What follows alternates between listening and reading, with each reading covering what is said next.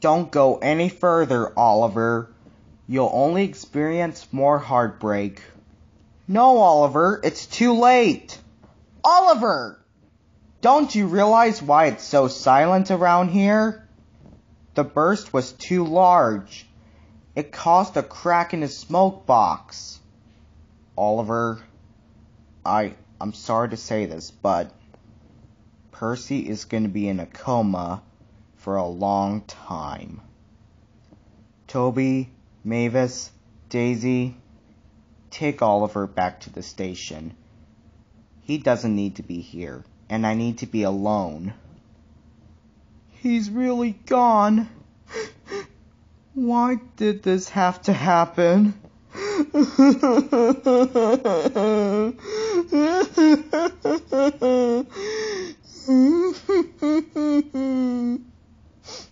okay, Edward.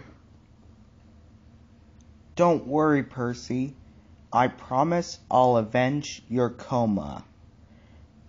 I will destroy whoever caused you to go into a coma. And make sure you're still my best friend.